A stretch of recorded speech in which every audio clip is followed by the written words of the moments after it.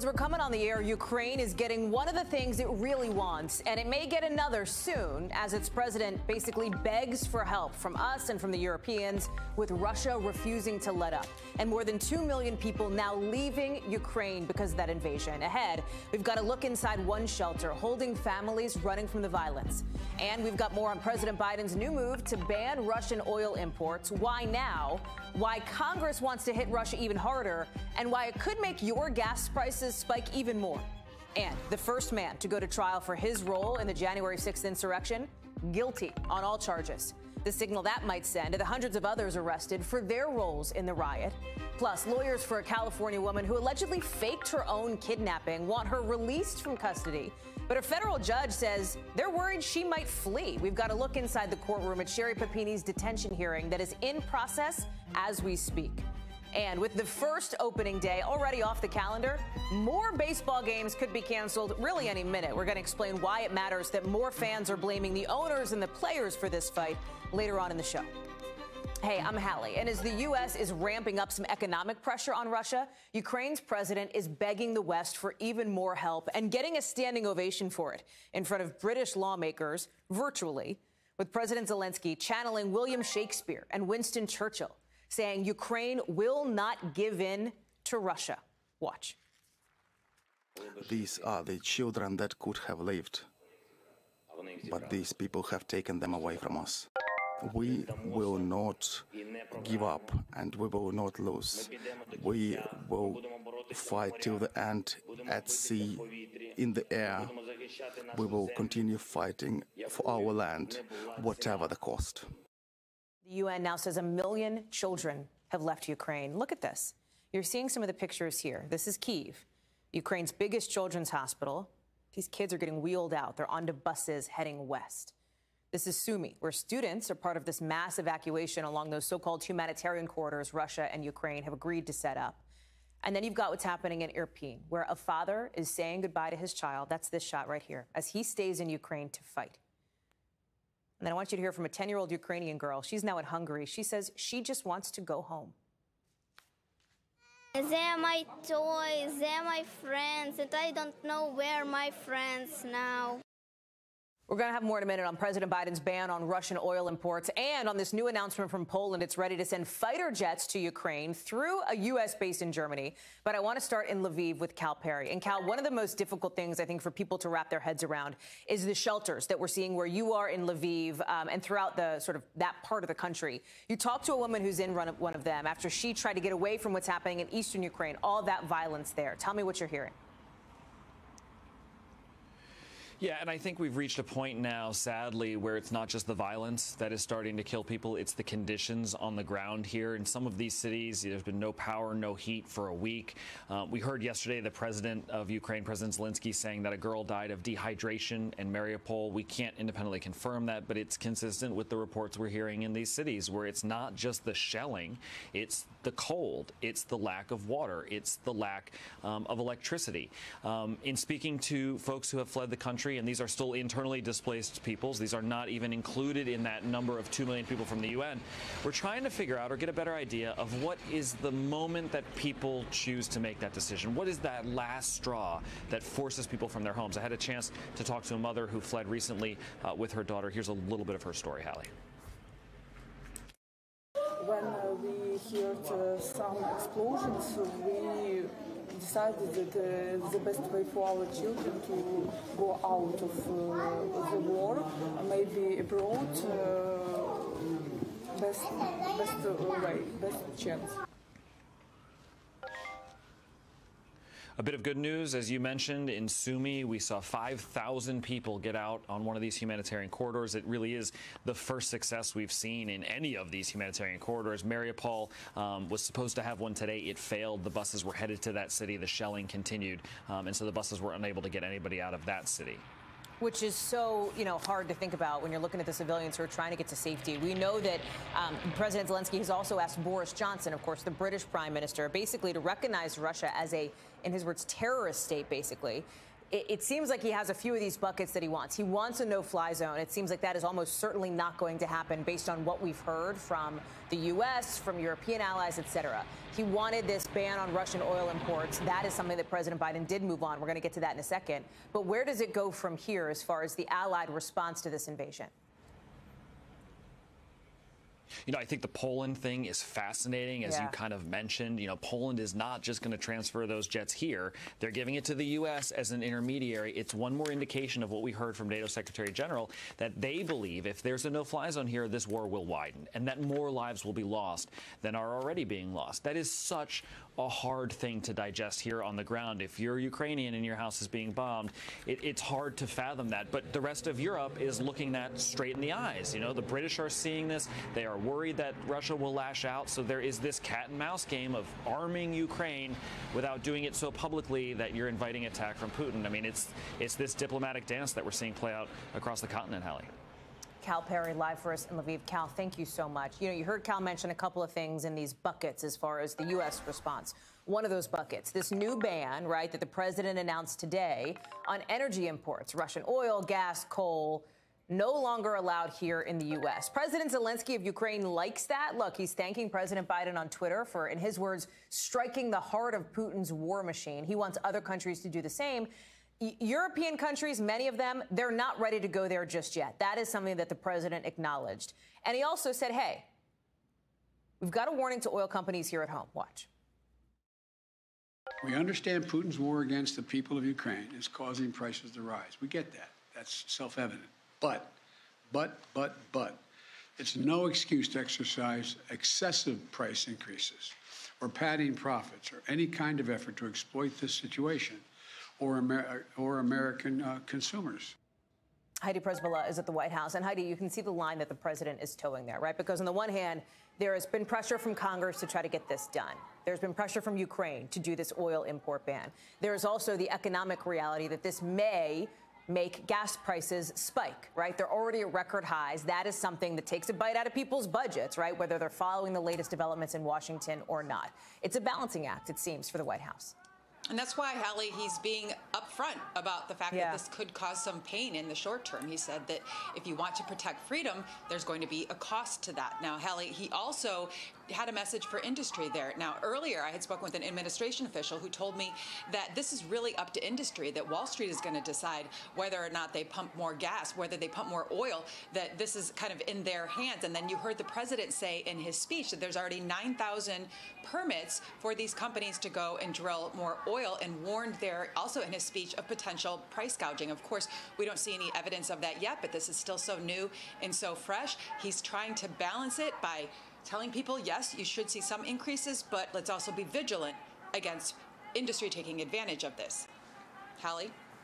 Heidi, let's also make a point here, too, right? That Russian oil imports account for a very small percentage of the total imports of oil into this country, right? It's less than 10%.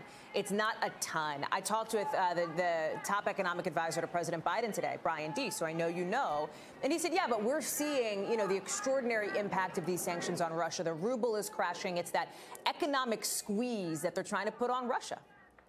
Well, that is why we did this, Hallie, because to your point, while we are a small share of their market and this is unlikely to kneecap the Russians, because frankly, this is very lucrative right now. Their prices are skyrocketing ever since Russia invaded.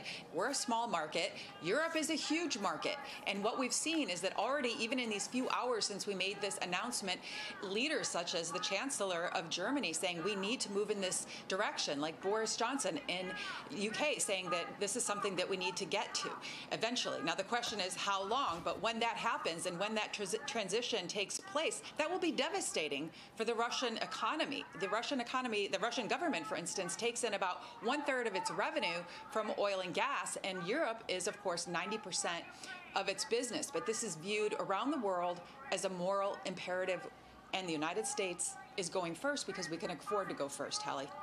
Heidi Przybyla outside the White House. Heidi, thank you. You also have today the director of the Defense Intelligence Agency saying somewhere between two and 4,000 Russian troops have been killed in this conflict. As we're learning just now, that Poland says that it is ready to send MiGs, right? These Soviet made jets kind of indirectly maybe to Ukraine, but here's the deal. Those jets will first go to a U.S. airbase in Germany and then presumably once they're in U.S. hands, will then head over to Ukraine to help the Ukrainians in this airspace fight with Russia. Poland's planning to send along all their MiGs. They're the ones Ukrainian pilots are already trained to fly on. And then, of course, Poland wants the U.S. to backfill the jets on our end, basically, to Poland. Courtney Kube is at the Pentagon. Courtney, like, there's a couple things here, right? This feels, first of all, President Zelensky has been wanting this. He wants these jets. He wants this help. He wants to get more competitive with Russia in this air fight, which, as you have said, and, and is the Pentagon assessment, Russia is, is probably doing, ha- has more um, capabilities in the air right now. But this feels kind of convoluted. Poland's going to send it to Germany, even though they're closer to Ukraine, than the U.S. is going to get over to Ukraine. Why? Why is it unfolding like this? So that's the big question. And we can I can say now, according to a number of U.S. officials, the U.S. was not tracking any plan for Poland huh. to send these jets to Germany at all. So the conversation that's been ongoing for several days now between the U.S. and the Polish government is that Poland would potentially supply these MiG 29 fighter jets directly to Ukraine. The United States has said that they were they would support that. They were in favor of it. Look, it's it's a one sovereign nation providing an aircraft to another sovereign nation. The U.S. was not going to be a part of it. The only U.S. component that came in was if they were going to supply them with F 16s as a way to backfill so that Poland wouldn't be left without this important capability. That being said, the U.S. officials I spoke with said it's not really clear if they have the F 16s readily available to supply them with quickly. So they were looking at the possibility of maybe rotations, U.S. Uh, F 16s and U.S. squadrons going in and sort of uh, basing there for a short time. Even that looked unlikely, though. Then Poland made this announcement surprising U.S. officials, many officials who I've spoken with now, they were not expecting this to happen. At this point, it's completely unclear whether any of this is even going to move forward, Hallie. That's so interesting, Courtney, especially because, again, President Zelensky has been wanting this and has been calling for this. What is the latest assessment from the Pentagon? We know over the last, let's say, 48 hours or so, it feels like Russia has stalled based on what we've heard from them in the northern part of the country. Is that still the case at, you know, evening Eastern time Tuesday here? It is. So it's they are definitely stalled in the north in their effort to take the capital city, Kiev. In fact, they've even Russia has opened up a new line of advance going towards Kiev, which just really indicates that they Vladimir Putin knows that they're having a hard time encircling and isolating that city, so he's going to put more effort to it. So that answers the question: Is there any chance that he would back away from the city? No. He's actually the, the Russians are doubling down around Kiev. The effort from the east is also pretty stalled. There's heavy, heavy fighting in the eastern city of Kharkiv. The Russians have not been able to take that in nearly two weeks. The south is a different picture, though, Hallie. The Russian military actually has made some advances in the south. It's a combination of factors, the main one being that they have a much easier logistical supply there because they have this, the areas of Donetsk and Crimea where they can bring in logistical support to their forces that are moving up from the Black Sea and the Sea of Azov. So right now, Russia is pretty close to essentially creating a land bridge along the entire uh, shore there. So the Sea of Azov along the northern Black Sea. That's what Vladimir Putin is trying to do. He, right now, he is he's close to taking Mariupol. They've encircled the city. The the assumption is from here they will move further west to the city of Odessa. It's a critical port city. The concern is that once they move there from the ground, there will be a, a decent size amphibious assault from the northern Black Sea to take that city, and then Russia will essentially control the whole southern part of the of the country, all along the coastline. Hallie, Courtney Kube, I'm glad we have you um, to bring us the latest from the Pentagon's perspective. I really appreciate it. So you've heard what's happening politically, you've heard what's happening militarily. How about from the corporate perspective? Because boy, do we have some news breaking just in the last couple hours here? Big, big companies, companies you know, stopping their operations in Russia fast, in some instances, faster than we've seen before. Right before we came on air, PepsiCo announced they're going to stop selling some of their brands in Russia. Coca Cola said the same thing within the last two hours. Same with Starbucks. Earlier today, McDonald's, Adidas, Shell, right? You see the logos on screen here. It's just the latest in what's been this exodus of Western corporations trying to leave or cut ties with Russia. And Yale School of Management says the business world is on notice, basically, in part because of all the pressure companies face if they don't.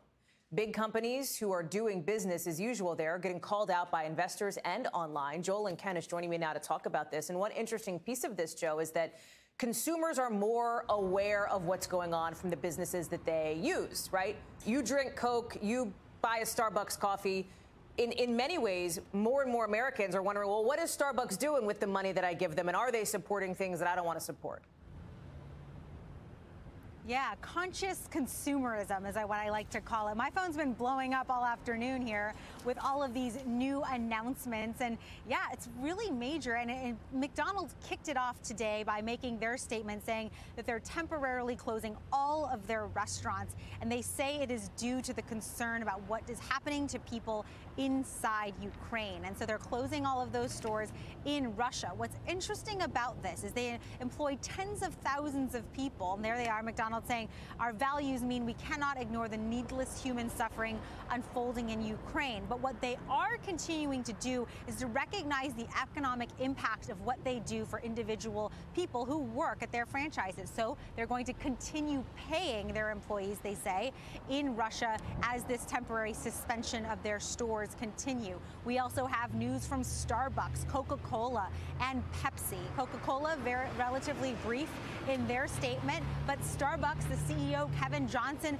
coming out and saying that the attack is unjust and horrific, and they employ 2,000 employees uh, in Russia. And so as these companies come out and say something, it's because they're getting shareholder pressure, investor pressure, consumer pressure to do something more. And as you say, as some people think about, you know, how much they're paying at the gas pump, part of the reason you don't see perhaps as much uproar, if you will, is that there's an understanding of the geopolitical situation and the suffering in Ukraine right now. Okay, but what about the perspective from Russia, Joe? Do they, you know, are they feeling it? Like, uh, it, how much of an impact does it have when, when, like, McDonald's pulls out, for example?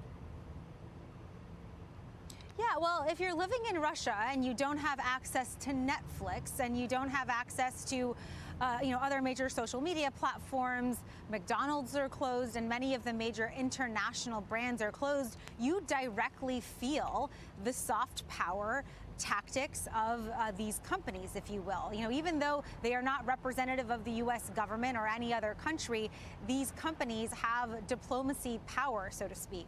And so it certainly changes things when it comes to uh, access to any number of, you know, services or things that people rely on. So it's a it's a statement from the companies, uh, certainly aimed at uh, perhaps yeah. more of a U.S. or Western European audience, but certainly impact felt on the ground in Russia. Jo Kent live for us there in L.A. Joe, great to see you. Thank you. Back here in Washington, the very first January 6th defendant to go on trial has been found guilty on all charges related to his role at the insurrection at the Capitol. Guy Reffitt from Texas tried to storm the building armed with a gun and zip ties last year. Prosecutors had said in opening statements, and remember, we talked about it on this show, that he, quote, lit the fire for the attack. He is now convicted of all the charges against him, including transport of a firearm in support of civil disorder, basically carrying a gun to this thing, and obstruction of an official proceeding. His family was outside the courthouse today and had one thing to say to the other January 6th defendants. Listen. Don't take a plea. Do not take a plea. They want us to take a plea. The reason that we have all guilty verdicts is they are making a point out of Guy, and that is to intimidate the other members of the One Sixers. Ms. Reffitt, and we will all fight together. Guy Reffitt's wife there, Pete Williams, is joining us now. Um, I, can I start there? Is she right? I mean, I don't know if you can answer that question, but is, this sending a message to others who are tied up in this investigation for what they did the, at the Capitol? Well, first of all, remember that 228 people had already pleaded guilty right. before Guy Reffitt's trial. So I don't know that you can say that that, that his trial or charging him or his decision to go to trial instead of pleading has encouraged other people to plead. I would think quite the opposite. I would think the fact that he got convicted on all counts would give others pause before deciding whether they want to go to trial. Because if you do plead and you do agree to cooperate with the government, as some defendants have done, or you do express remorse, right. as Guy Reffitt has not, then generally speaking, you, your chances are better at getting a lesser sentence. Is there any extrapolation to other potential, you know, if it goes to trial, et cetera, for some of these other cases down the road that we can make from how this one turned out? So I think two things. One is it would appear that the federal government's plan for trying to take the jury back into the Capitol and tell them what it was like to Right. be there on January 6th or what it was like to be a Capitol policeman outside on the 6th was effective. Secondly, uh, of course, in this trial, there was overwhelming evidence. You had photos and videos of him. You had his own statements from the camera that he was wearing on his helmet when he entered the Capitol. You have the things that he told his family when he got back to Texas that were recorded by his son, and those tapes or those uh, audio recordings were played in the courtroom. And then you have the uh, uh, uh, extra things about this case that aren't going to be in a lot of the others. He was one of the few people to actually carry a weapon when he came, a firearm. Now, I shouldn't say a weapon, but a firearm when he came to the Capitol. And secondly, this business about him threatening his own children and threatening to shoot them if they told the police or the FBI. That's not going to exist in the other cases as well. So this was a this in, in essence was kind of an easy one for the government, and I, I think that's reflected in the fact that the jury began deliberating three at 10, right. and the note from the jury says we've reached a verdict at 12:08. So two hours and eight minutes for Yeah, deliberations. so it's Not almost that long to elect a foreman, you would think. Right, right. Well, as you say, you laid out the reasons why for them it may not have been needing a ton of you know uh, deliberation there. There's also other January 6 news, which is interesting, Pete, and it is involving this former Proud Boys leader Enrique Tarrio. He was arrested today. This indictment has come out um, in connection to the group's role in you know planning the attack, if you will. And I know that you have, have have said something interesting about this, which is it is the most information we've gotten yet that points to the fact that the government, you know, there's been this question: Was the attack pre-planned? Was it a spontaneous riot, if you Right, will? right. And this indictment seems to be leaning in one direction. Well, this is the furthest the government has ever gone in that direction. So, on one level, what this indictment does is add Enrique Tarrio to the indictment that already existed for other members of the Proud Boys, saying that they came to Washington with tactical gear and they wanted to raise hell and try to discourage Congress from counting the electoral votes. But all those indictments in the past, including for the Oath Keepers and the Three Percenters, have all said they wanted to have violence in the streets or maybe fight Antifa, but there was never a direct reference in any of these other court documents to an actual plan to storm the Capitol. This is the closest it ever, it ever comes. It says that uh, he was communicating with other Proud Boys. They had this little uh, sort of core group of people planning what to do in Washington. That one of them submitted this nine-page document called 1776 that said we should storm the House and Senate office buildings, and then left a voicemail message that, according to the court documents, Tarrio responded to by saying, "Well, I hadn't heard this message. You want to storm the Capitol." So. It, it stops short of saying that there was an explicit plan, but it's the closest the government has yet gotten. And to Pete Williams, uh, following a lot of threads in the January 6th investigation for us. Pete, thank you very much. You bet. Still to come on tonight's show, police have arrested six teenagers in connection to that breaking news we told you about 24 hours ago on this show, that drive-by shooting outside an Iowa high school that ended in the death of one person. We're going to have more on that later in the hour. And we've been reporting kind of big picture on these Russian oligarchs who have been sanctioned. But who are they really? How connected are they actually? We've got more on one specific guy with really close ties to Vladimir Putin right after the break.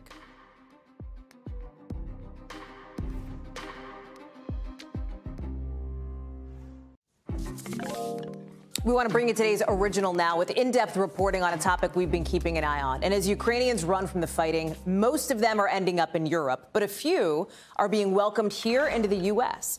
And with the situation overseas getting worse, Americans who have family still in Ukraine are begging for something to change. Our Vaughn Hilliard explains. The frantic fleeing from Ukraine has left now more than 2 million refugees displaced. What led you guys here to being together here? Sure. Uh, Many of them with family in the United States, but unable to get approval to make the journey here, including seven year old Vladislav and 12 year old Stanislav Kostuk. They are brothers, refugees who fled to Poland. Their parents stayed behind in their Ukrainian town of Zaborov to help defend the country. Here's a photo of their father taken Monday. The boy's nearest extended family is in America. But because the boys can't get official refugee status in the U.S., their uncle and a cousin who live in New York flew to Poland to care for them. That's all we're asking for is for the time being for the kids to just have a safe place to be. Their uncle went to the U.S. Embassy in Warsaw on Monday, but officials there declined the boy's ability to fly to the U.S. The U.S. Embassy's website explicitly saying such travel is not possible. It's seven-year-old boy's boy without his mother and father, you know. The Biden administration has yet to create an expedited refugee pipeline to the U.S. for Ukrainians. But Russia is currently shelling their home country. The oldest brother saying, without my parents, it's more difficult to adjust. Back in New York, Olha Rosanovsky and her son Michael wait. Olha is the boy's aunt and the sister of their mother. I feel really, really heartbroken, and um,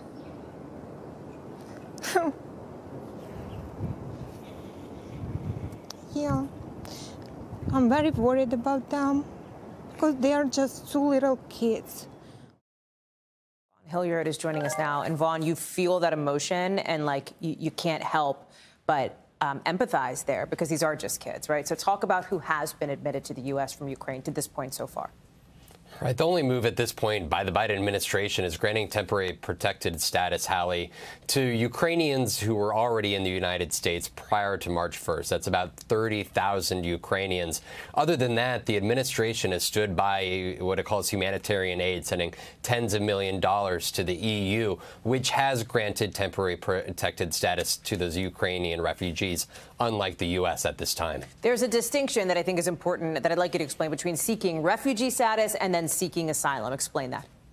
Right. We, we've seen Central American migrants, Haitian migrants seek asylum, but in order to seek asylum in the United States, you have to be at the U.S. border or a port of entry, including the airport here. And the reality is, is that these refugees can't even board a flight to come to the U.S. because in order to get on an airplane for a U.S. bound flight, you have to be pre-authorized, which means even these Ukrainian refugees, including those two boys that you saw there in Warsaw, they can't go and get on a plane just to even come to the U.S. to try to seek that asylum. Hallie? Vaughn Hilliard, um, thank you so much for bringing us that reporting. Appreciate it. I know you'll watch for any updates as this develops. Thanks.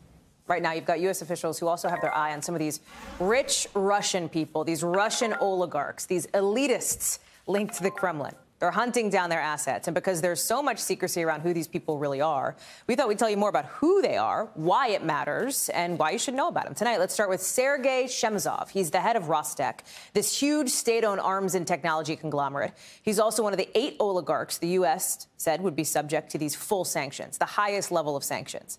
It means anything he owns, property, company, any assets that are at least half owned in the U.S. are all blocked. And this guy's ties with Vladimir Putin, they are deep. They lived in the same apartment building in East Germany in the 80s when they both worked in the KGB. That relationship has worked in this guy's favor. That's his yacht, 278 feet. He's got a villa in Spain. He's got offshore companies owned by his kids. Tom Winter is here with more on this now. Um, as we said, Tom, this relationship goes back decades. Talk about how important President Putin was to him and his family's success and power. And it's a relationship that he refuses to talk about. He gave his first U.S. interview uh, to a news organization, to our own Keir Simmons last year. He was asked about that relationship that goes back to a rooming house in Dresden when both uh, Chemezov and Putin were in the KGB. And he said, quote, I'd rather not discuss their time together and what they did together uh, back then. But uh, Rostec, a company that referred to really the big arms and uh, aerospace uh, corporation of Russia, it feels like a state-run entity. It's got its hands hands in an awful lot of subsidiary uh, companies. Um, it's a company that's made over a trillion rubles uh, in its last uh, last year, although certainly uh, doubtful that it'll make that much this year. I could talk to you about the hundreds of millions of dollars that he has. We can show drone video from the Organized Crime and Corruption Reporting Project of his uh, Costa Brava Spanish villa. But what makes him so important is not that he's a somebody that's flown under the radar and is you know somebody who eats ice cream with Vladimir Putin, as we just saw, but he really personifies the inner circle of Russia right now and these oligarchs. You know, we think of different groups in society like politicians, law enforcement, the business community, the criminals. Sometimes they intersect, right? Obviously, we know politicians can be investigated, same with the business community, and sometimes law enforcement runs afoul here in the United States. That's how we kind of think of things as some of the groups in society. In Russia, Hallie, it all mixes together. Yeah. You have, uh, at one moment, law enforcement can be helping out these oligarchs. Uh, at the next moment, they're helping out the government, and the oligarchs can be helping out organized crime. At the same moment, they're uh, kicking up money to the Russian government and the person who heads it, Vladimir Putin. So the whole society there is in a complex blender. And so when we see somebody like this get sanctioned, it's a real wake up call for people inside that inner circle. And that's why we talk about it. And that's why it's so important to the U.S. government. Is there an impact to Americans, right? Because I look, you look at this guy, Chemezov, he's got this company that's a titanium supplier, basically. Boeing has announced they're no longer buying titanium from Russia, but they haven't said what they're going to do about their partnership with this company. What does that mean? How, pull on that thread a little bit.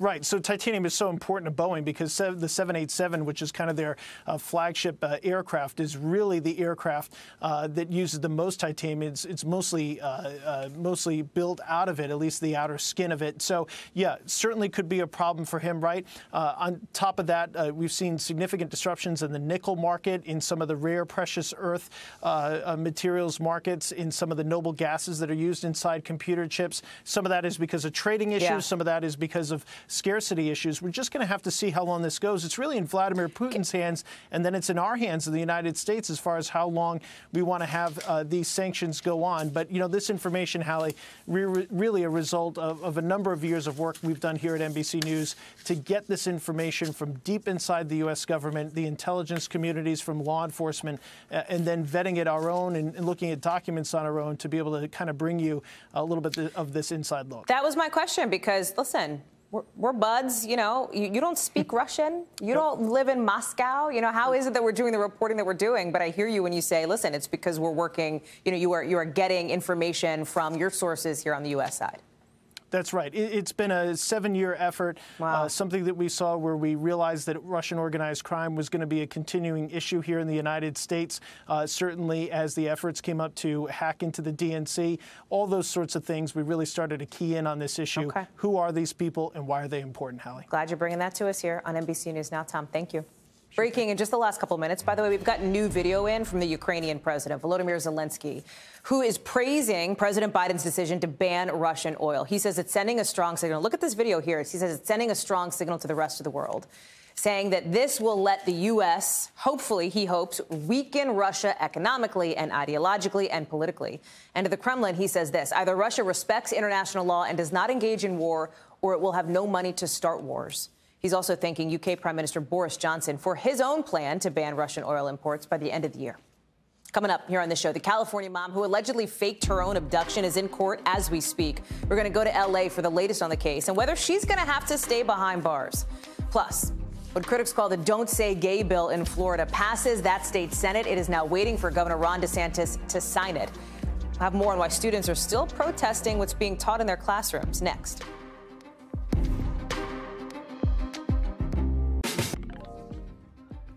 Four men are facing charges for a wild plot to kidnap Michigan Governor Gretchen Whitmer. That trial got started today. We've got more details in a minute. But first, NBC News covers hundreds of stories every day. And because you couldn't possibly read or watch or listen to them all, our bureau teams have done it for you. This is what they tell us is going down in their regions in a segment we call The Local. From our Northeast Bureau, dramatic video shows the moment a dad tossed his toddler to safety from a second story window. Did you see that? It was during a fire at an apartment in New Jersey. As you can see, those firefighters watch. Oof, oh man, they catch the dad. They had caught the boy before then. They're both doing okay. Luckily, neither of them were hurt too badly. They still don't know what caused the fire. From our Southeast Bureau, Florida's top health official making a controversial recommendation. He says healthy kids should not get the COVID vaccine. That is obviously contra what we're hearing from federal officials, coming from the state's Surgeon General, even called vaccine mandates, quote, terrible, harmful policies. It makes Florida the very first state to advise against the vaccine for healthy children. Again, something federal officials have said is very clear. And out of our Midwest Bureau, thousands of teachers in Minneapolis went on strike today for the first time in more than 50 years. Union leaders say they want their demands solidified in a contract with the school district.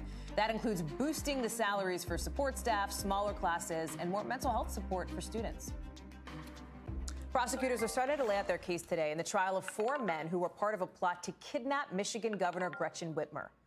Or the work to show how that plan started in the early months of the pandemic, with these people angry over the state's COVID restrictions. We're talking about Adam Fox, Barry Croft Jr., Daniel Harris, and Brandon Caserta, part of a group called the Wolverine Watchmen, all facing charges of kidnapping conspiracy.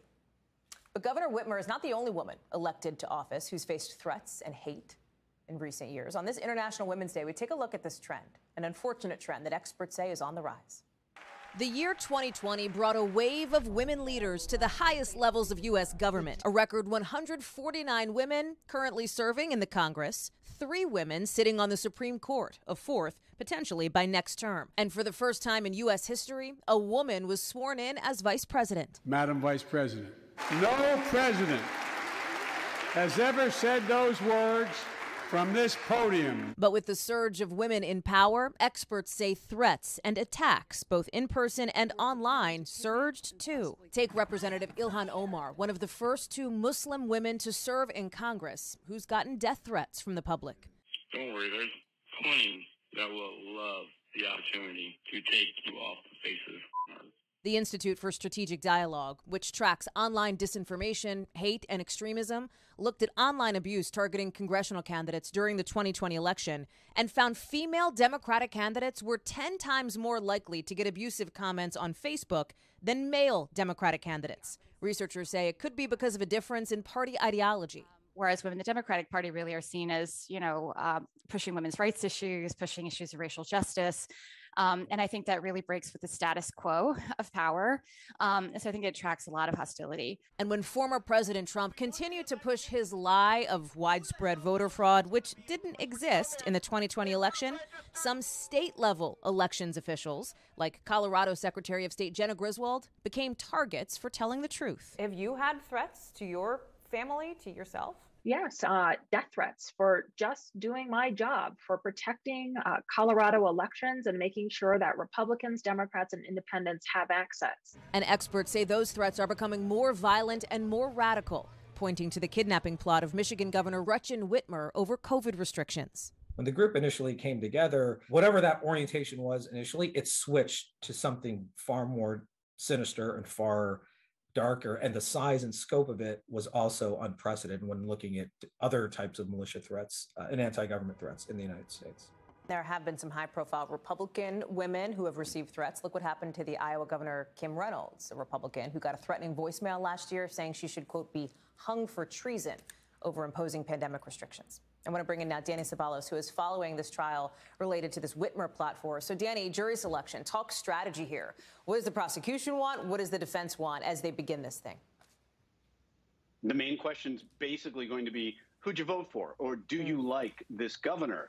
Uh, any governor is going to be a polarizing figure in any state because in any state, half the folks may have voted for one person and half the folks may have voted for the other person. So that's a critical question is finding out where these jurors lie on the uh, Governor Whitmer question, politically speaking. Does it necessarily disqualify them? No, but it's important to know whether or not they can render a fair and just verdict. Another important question is how much have you jurors seen about this very newsworthy case in the news, and did you form an opinion about it? Because here's a lot of folks think it's uh, a juror is disqualified if they've even heard about the case. That's not true, especially in a high profile case. It's impossible. The real test is given what you know about the case or what you've seen in the paper, can you still render a fair and impartial verdict? And if the answer is yes, then, unless the defense uses one of their peremptories or the prosecution does, that juror should be able to sit. So, who has the bigger hill to climb, like when you're putting on your attorney hat here in terms of laying out their case? Because the defense says the government basically orchestrated the whole thing, because the FBI they claim you know infiltrated the group, but the prosecution is saying, hey, we've got these secret recordings, these text messages that they think show that the you know that the government was or that these this group was united in their efforts. The government may have orchestrated this whole thing, and they used cooperating witnesses, informants, and uh, undercovers and that's what the government does in all kinds of cases. In fact, that is federal prosecution 101.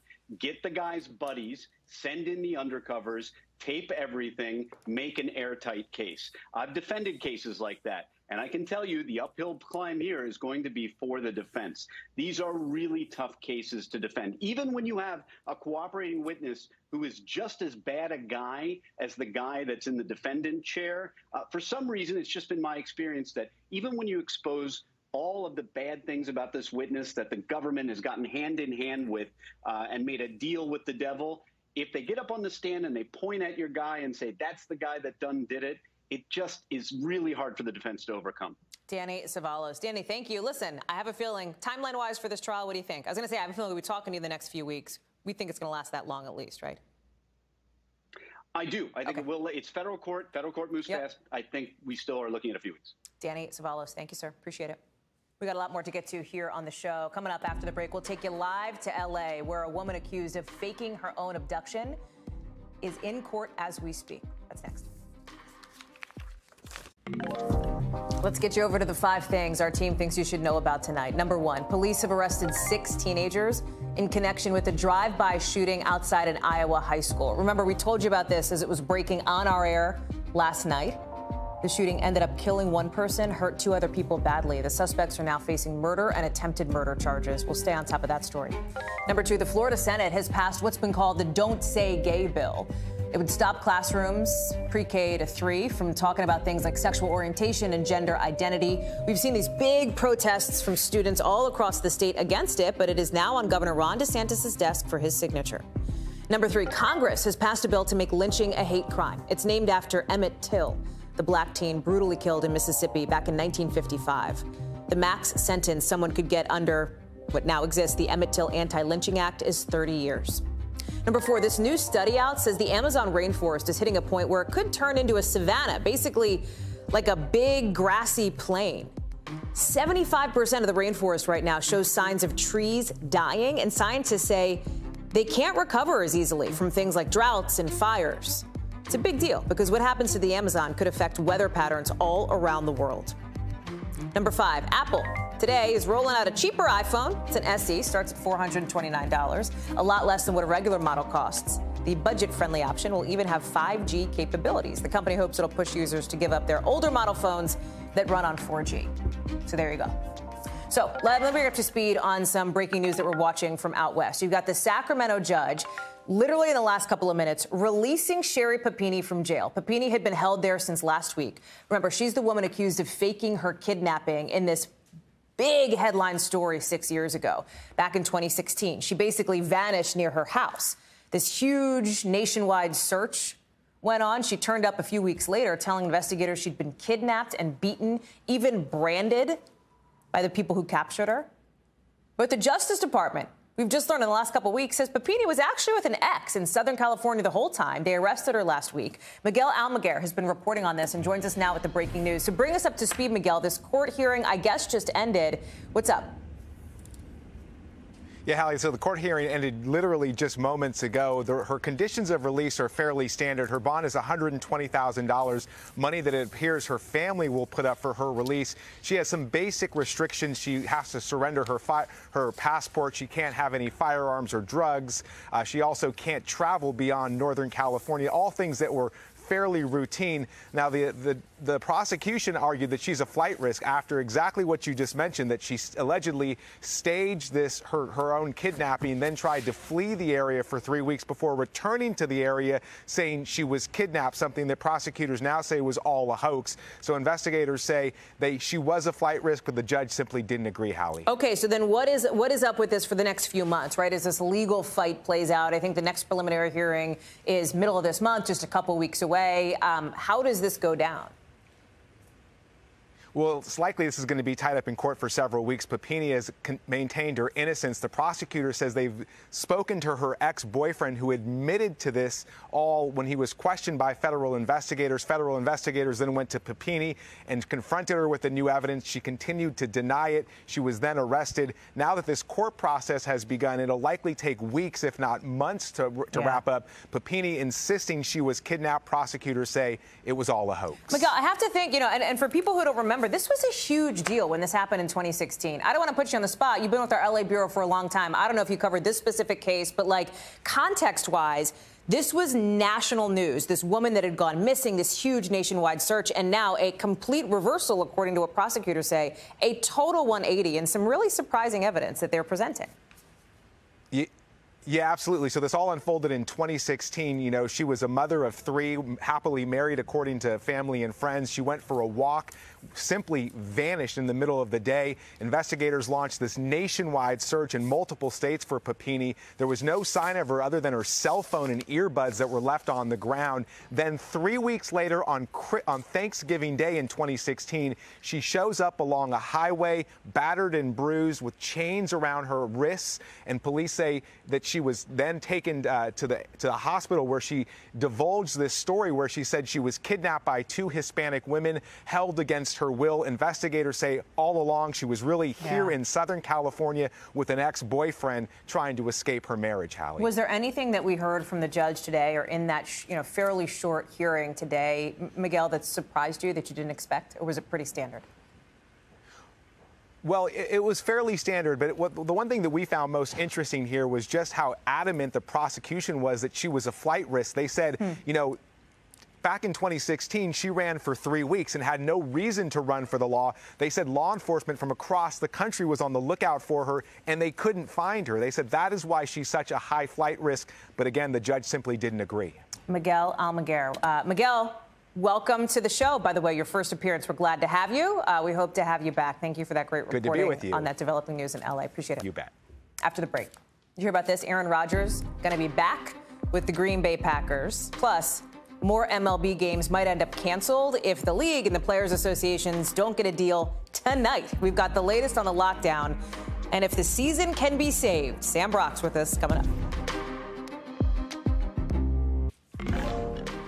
So it turns out Aaron Rodgers likes where he is. He's confirming today he is sticking with the Green Bay Packers, but he's saying any reports that he already signed that deal or the terms of the contract are not accurate. Some of the reports had him getting the biggest deal in league history. Either way, it's just about the end of a controversial stretch for the quarterback that included talk about retirement and wanting to force his way out of Green Bay, not to mention that whole back and forth about his vaccination status. He's still, stats wise, considered one of the league's best, won a fourth MVP award last year, but he faces some big pressure. His Packers have not been back to the Super Bowl in 12 years. Other big sports news tonight. Any minute, we could find out if Major League Baseball will have a shot at playing its full 162 game schedule. MLB told the union yesterday that today is the last possible day to get to an agreement that would let all the games be played. And if you're saying, wait a second, didn't they already cancel opening day in the first two series of the season? Yes, but if they get a deal quick, they could maybe reschedule them. So they're still talking, they are still fighting, they are still fighting over money and a lot of money. The players are basically saying, hey, we want more of a piece of the pie. The owners like things the way they are. All of it, as you can imagine. Exhausting and frustrating to fans. And a new poll shows people are more than twice as likely to blame owners than players for these canceled games if they happen. Sam Brock is here with us on the MLB beat, um, our chief baseball correspondent. Sam, first of all, talks. Where are they? Are we going to get a deal by tonight's deadline? If I'm a betting woman, I say probably not, right? But, like, I don't know. You tell me. You're a lot smarter than me. I, I, would agree with you. I would not bet on a deal getting done either. Also, can we call this hot stove with Hallie? I feel like there could be some sort of franchise potential there. What I would say, Hallie, is that these are very critical hours right now. The okay. fact that Major League Baseball has softened its language about not making up canceled games is a good sign they want to get a deal done. Here's why this deadline is so crucial because once Major League Baseball dips below 140 or so games, the teams involved then have to give rebates to regional sports networks for those TV contracts. There is a lot of money involved there. So Major League Baseball, we're talking about the owners and management now, has built in a little bit of a cushion. They've already canceled two series. That's about six or seven games per team. If they start dipping a little bit deeper into that fat and they cut into bone, Major League Baseball is going to lose a lot of money. Nobody wants to see that happen. That's more incentive for the two sides to come together. So, a couple of questions here. There's some urgency tonight. I mean, you're explaining why and why that is. Um, what happens if they don't, right? What happens if, as you say, they cut the fat, they hit the bone? I mean, are we looking at salvaging any part of the season at that point? One would certainly hope it was disastrous for Major League Baseball in 1994 and spilling into 1995 when they canceled 950 give or take games. So far, it's been 91 games. Why would this be so bad on top of that? There are, beyond just the players, the concessionaires, the groundskeepers, clubhouse employees. There are so many people yeah. tied to Major League Baseball whose economic livelihoods are tied to Major League Baseball. Both MLB and the Players Union have now put up matching million dollar funds to try to keep those folks to be able to pay their bills bills. As we know, there's so much going on in the world right now between rising gas prices, inflation. It's expensive. Rents are up. So there's all those folks who don't make a lot of money who are standing to lose a lot as well. You would think there would be pressure from all parties to get this done immediately. What's interesting, and you talk about the pressure piece of it and what happened in 94, we mentioned that poll. It's almost the exact opposite of 94 when fans blamed players more. Why do you think, based on your reporting of this lockout that you've been doing for us, why do you think it's different this time? Why are more fans blaming the owners now versus what they did back then? Yeah, anecdotally, I'm hearing the same thing. When you ask people what they think about what's going on, they say, I completely side with the players. I think there's been a paradigm shift in Major League Baseball with advanced metrics, a big part of this, where younger players are coming up earlier, Hallie, and they're making incredible contributions, in many cases, more so than veterans who are making a lot more money. And the younger players have to wait three or four or five years to get paid anything close to market value. That doesn't seem fair to anybody. We're also seeing, for years now, service manipulation. Teams will take these star players players, they won't call them up until the end of May or mm. early June, just so that that player doesn't get credit for a full year. And then they're backlogged another year until they can hit free agency. That doesn't seem fair to anybody. You don't need to know the X's and O's of baseball to know that that's not a great practice of how you treat yeah. your employees. All of that stuff has started to build up, and I think there's now a perception the players are in the right if you were to ask the average person in these negotiations. If you were to ask the average person what the hot stove is, they might not know that that's a reference to baseball in the offseason. But look, now we know. Now I know. I personally think Brock's inside baseball is like a better catchphrase. But Sam, I have a feeling we'll be talking again on this soon. Um, thank you very much, my friend. Appreciate it. I'm making my best pitch. Thank you. oh God. Just, just. We'll see you next time. Thank you. Thank you.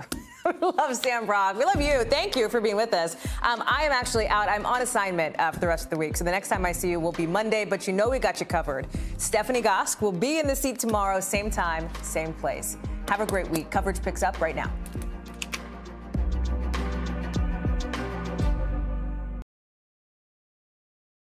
Thanks for watching our YouTube channel. Follow today's top stories and breaking news by downloading the NBC News app.